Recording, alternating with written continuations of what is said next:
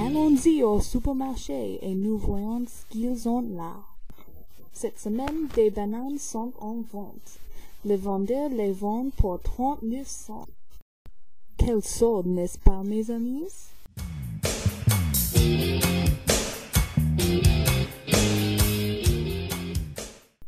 De la viande est en vente aussi. Achetez-vous le bouffe et les poulets au boucher. Au supermarché, toute la nourriture est très fraîche. Les prix sont toujours bas aussi. Alors, allons-y au supermarché maintenant. Vous n'êtes pas désolé, je promets.